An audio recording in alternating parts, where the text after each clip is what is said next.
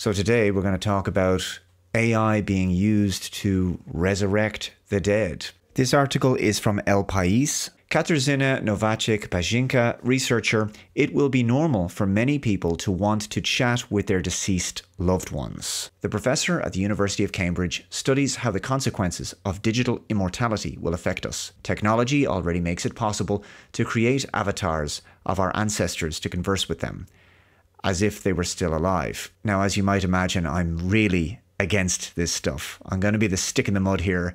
I've discussed previously the Black Mirror episode Be Right Back, in which Hayley Atwell's character of Martha has a digital version of her dead boyfriend Ash created using social media posts, images, and videos. And she's able to talk to him on the phone. And eventually, she puts this AI into an Android duplicate. It's creepy as hell. The Android part may not be possible yet, but sadly, the AI technology is there uh, to make it possible to create simulations of dead people. The article says for almost a decade, researcher Katarzyna Nowaczyk-Basińska has been analysing what death and mourning will be like in a digital world. I shudder to think.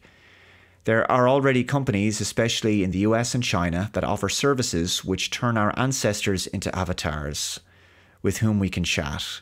Some deceased individuals have already spoken at their own funerals or at the trial of their killers. Let's correct this as if it needs to be said. No deceased individuals have spoken or ever done anything ever. These are nothing more than language models with convincing text to speech systems using recreations of the dead person's voice. Why can we not just let the dead rest? Every culture has its own relationship with the afterlife. Each family experiences the loss of their loved ones in its own way. But artificial intelligence will allow for the creation of a new relationship with some deceased individuals that will depend on new business, ethical, and legal decisions. It's an issue, as with most innovations, that appears before societies and governments get to reflect on it. Yeah, this is the issue with many fast moving technologies and brand new consumer products they get made available to the public before we as a society get to seriously process and weigh up the ramifications of normalizing them. So there's a Q&A with Katarzyna and she's asked a question, will we still go visit cemeteries in 2030? Answer, that's going to change. When we visit a cemetery, it's usually not that often. And when you have your dead loved ones in your pockets, in your phone, you can easily access this person online almost 24 7, which means that it will definitely change the way we communicate with the dead and the way we spend time with them. I barely know where to start with that. Putting aside how, how sad it is to converse with a chatbot to begin with, it's so much worse when they might be bearing the face and voice of a dead loved one. Uh, this is simply not healthy for a person and doesn't fully enable them to move on, in my view. Uh, moving on from the dead is a, is a healthy, natural, and vital part of life. It's part of living. We remember the dead, uh, but we also must understand that, that life and death are connected. They're part of a cycle, uh, much like the planet has seasons. Death and birth are universal constants and they are at opposite ends of the spectrum older generations give way to their offspring. Okay. And what I can't stand is that an AI driven industry is rising up now in what's called uh, grief tech or, or grief bots or something like this. And it's sold to people as helping them cope with loss. But in truth, this industry only exists because there's money to be made. Okay, companies that will offer these services are making money off desperate, lonely, and vulnerable bereaved people.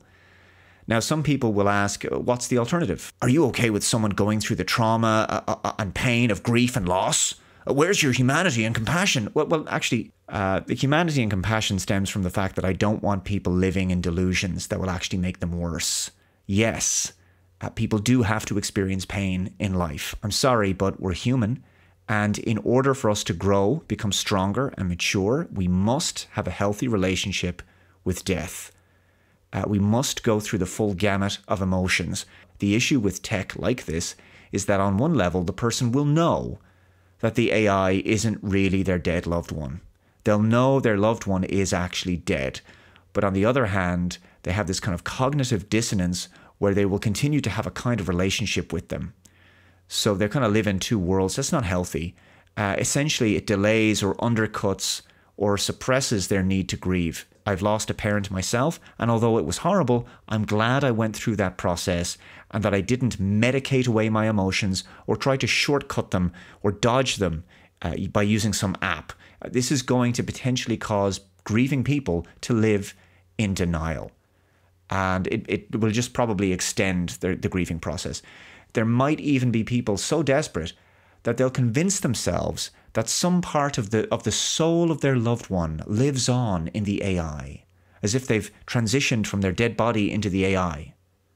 And they now live in an app on their phone. There's probably people who are going to think this.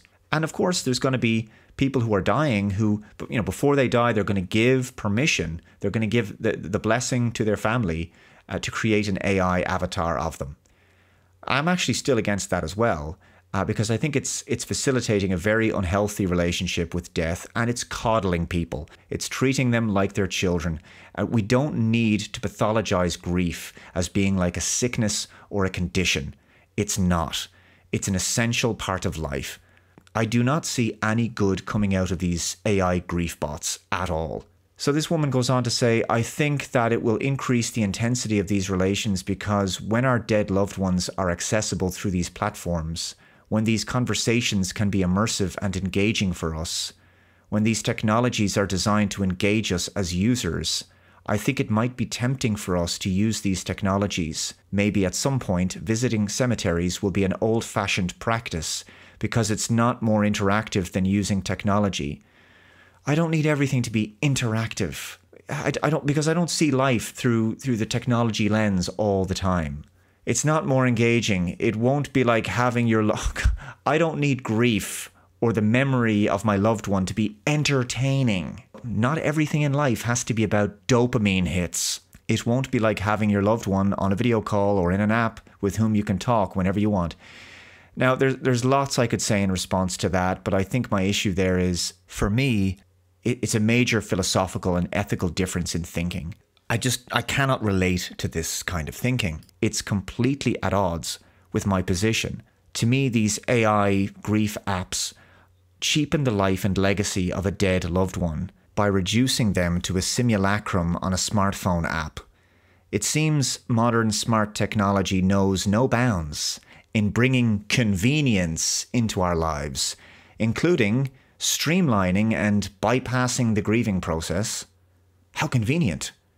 Question Will the technology we're most likely to use be an AI chatbot generated with messages from our deceased relative? Answer Yes, those grief bots or post mortem avatars are the most likely and also the most controversial application. A technology created from our digital footprint that represents us or our loved ones after death. This technology and this particular application of AI in this so called digital afterlife industry can profoundly change the ways in which we engage with deceased loved ones and change social cultural norms and practices. Again, you're not engaging with deceased loved ones at all. Your deceased loved one will be in the ground or in an urn. Okay?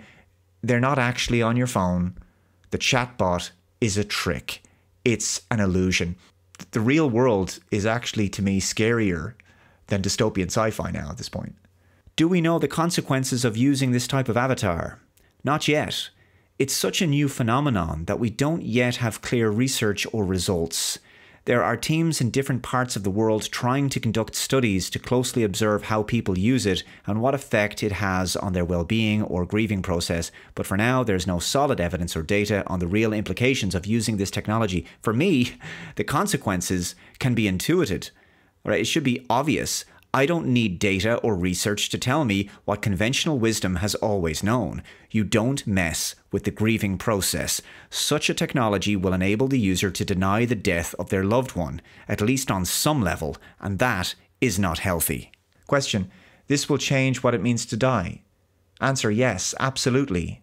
It will definitely change the way in which we perceive experience and understand grief, death, and dying because these technologies are trying to offer us a completely new experience where saying goodbye isn't finite. It's more like, see you later.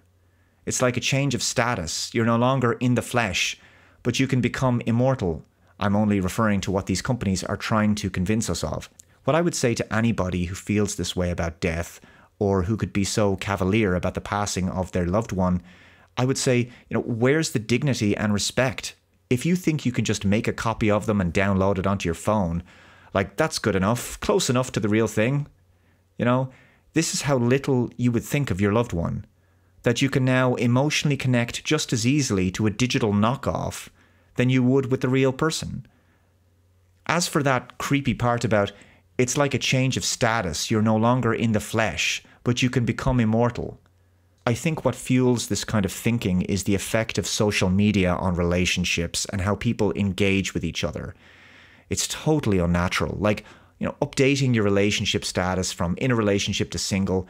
And now it's like change your status to no longer in the flesh or whatever to, you know, being immortal or or an AI, which sounds almost transhuman to me.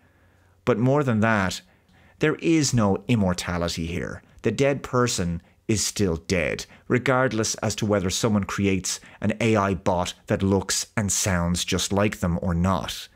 Question You'll come back from your husband's funeral and ask, What did you think? Did you like the music? And what your brother in law said? Answer Exactly. It already happens. Someone created an avatar of their grandfather and right after the funeral asked him, How are you? It's very thought provoking. No, it's not. It's highly disturbing, I think disrespectful to the dead. What's the main concern? I have a long list of worries. The first is that this entire industry is run by private companies. The form it takes depends on what its founders and the people who run them decide almost arbitrarily. This should change. We should open the door to more stakeholders and make room for professionals who truly have experience in death related issues. That would be a first step, professionalizing the digital afterlife industry. Actually, fundamentally, I don't believe we should be opening this Pandora's box in the first place. I don't believe we need an afterlife industry, all right? Just because the technology is there to do something doesn't mean we should do that something. I'm going to leave the full article for you to check out below. It's linked in the description box. But make no mistake and mark my words, this is going to be a thing. How is this a thing, you might ask? Well, it's going to be a thing in the not so distant future. Uh, yeah, family members, friends, work colleagues, neighbors, people you know, lots of people in your life are going to be talking about this stuff. They're going to be using AI chatbots to to talk to their lost loved ones, and some people will will come to their senses and they will realize uh, it's not really helping them, and it's actually delaying and repressing the mourning process. Um, it's probably deepening their trauma. Some will realize how hollow it is. Uh, living a lie like this is exactly the same as using a chatbot as your virtual child, having a, a, virtual child as opposed to having a real one, um, or having a romance with an AI. It's probably worse, actually. But I can actually foresee a situation where funeral directors who who offer you, you know, the type of coffin you want or the headstone design or something. I think in the future they're also going to have this optional extra where they'll make you a, a chatbot app for your dead loved one to help honor their memory and, and keep something of them alive, you know, this sort of thing. This is how they'll sell it. Yeah, so stay tuned for that. AI just seems to ruin everything. By by using AI to recreate a dead person, you're turning them into a commercial product. Uh, we have to let the dead rest, not just for them, but for ourselves and for the essential human requirement to heal. Using the AI to quote unquote resurrect the dead is like picking at a scab forever. Let me know your thoughts in the comments below. Thanks very much for watching. Take care. I'll see you next time. Bye bye.